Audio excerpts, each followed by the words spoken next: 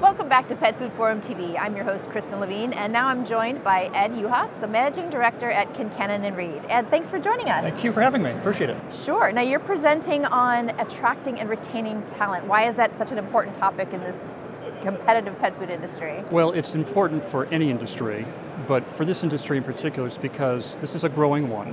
And for the last who knows how many years, this, this industry continues to grow and grow and grow. And we're, we have a labor shortage. There are just fewer people to do the kind of work that we want our companies to do. And when you layer that on a growing industry, it becomes that more problematic. And, and why is there a labor shortage? Well, there are a couple of reasons. One, uh, demographics are not really in the favor of the most senior level people who are running our companies.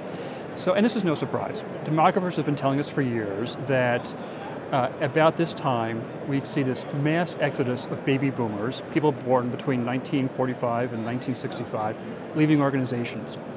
Every day, 10,000 people are leaving our companies. And look, they might not be all senior level people, but they have very valuable jobs. All work has honor. And uh, they leave with all this tribal knowledge. But the, the demographic behind them, the generation behind them, the Generation X, there are fewer of them. There are 10% fewer Gen X people taking these jobs. So what's happened is you, that this uh, function of reverse musical chairs. There are more chairs to go around than there are people. And uh, it's put a lot of strain on companies, uh, particularly small and mid-sized companies who have that hard time attracting that kind of talent. Now, you know, 10% fewer people doesn't sound like a lot, but if your salary was cut by 10% or your expenses were increased by 10%, you'd feel it. Really? Yeah.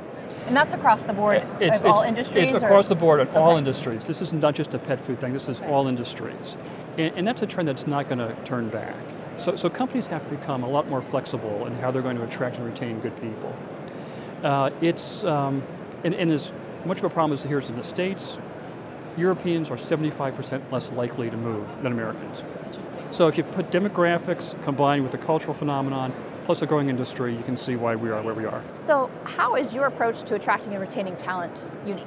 Well, I think what we're doing is we're telling our clients today that, you know, sometimes the best candidate you see is the very first one. Mm-hmm. And clients don't like to hear that. They want choice.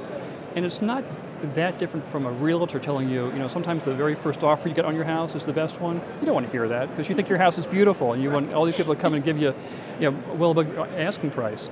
But there are just fewer people who want to make these kind of job changes today. And, and so the other thing that companies have to do is they've got to put their very best foot forward when they're interviewing people. Roll out the red carpet. Make sure that people on the interviewing team are well prepared to bring in the candidate to really understand what their background is, before they come in. We tell our candidates that the company should be on their best behavior that day.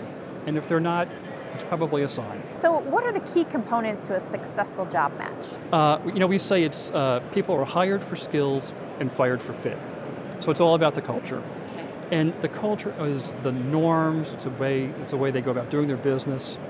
It's how things get done that a newcomer really wouldn't know until they're there. And so it's often the most uh, difficult choice a client has to make about the candidate. Will this person fit? How are we going to know? And um, you know, certainly its technical skills get the people in the door, sort of the table stakes, but it's are they collaborative? Uh, can they roll up their sleeves and get the work done? Many companies are looking for what we call strategic doers, not just people who want to think, but people who can do the job as well. But it, but it really comes down to the cultural fit. Well, thank you so much for sharing those insights with us, Ed, and good luck with your presentation. well, thanks for having me. Appreciate it. All right, and we'll be back with more right here on Pet Food Forum TV.